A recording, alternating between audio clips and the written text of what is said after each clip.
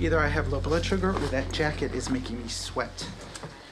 Question Should I go back to school and get a master's degree?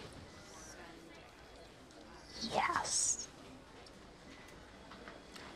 Sorry, what? Well, every year I write down the deadline for the nurse practitioner programs, and then at four this morning I was like, Zoey Barkow, go for it.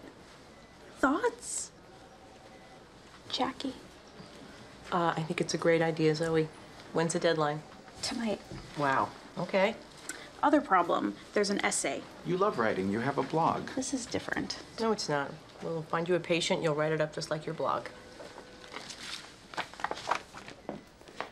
I am still thinking about our helicopter sex. What do you have planned for us today?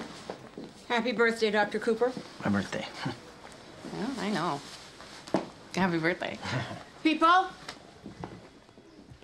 our friend the DEA agent is back with us again, investigating Nancy Wood. He will be conducting interviews. I am installing him in my office so that together we can all figure out who the hell stole Dr. Roman's prescriber number. Everyone must comply.